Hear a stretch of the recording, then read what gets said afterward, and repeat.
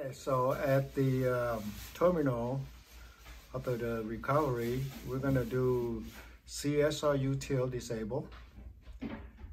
Then we're gonna do csrutil authenticated dash root disable.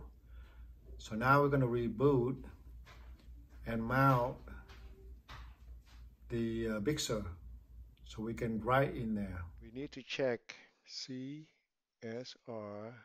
util status. Now we have to do this util list. Our Big Sur is this one S1. So what we're going to do first is that we're going to create non-root. So it's already exist. So I already made it. If we open this up, we go to Lewis, you'll see non-root. It's already there. So now we're going to mount Big Sur. sudo mount minus O, no browse, minus T, APFS, device this one S1, which is the Big Sur, onto non-root, okay? Now Big Sur up here. So what we want to do next is we're going to copy sudo. We're going to copy this patch IO 8021 family that has the uh, that has the Ethereal plugin.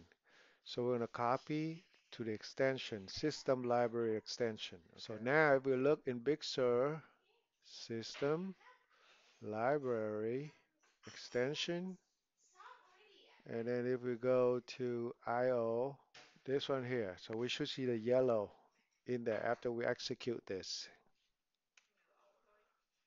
There you go. So it's in here now.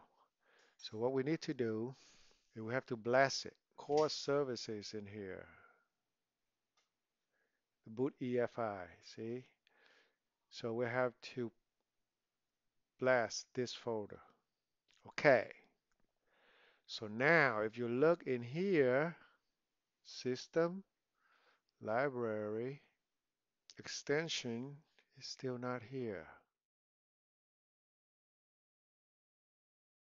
after we reboot it will go in. It was actually successful, which means that when we go into Big Sur system, library, extension, and we do see our new Ethereals in here.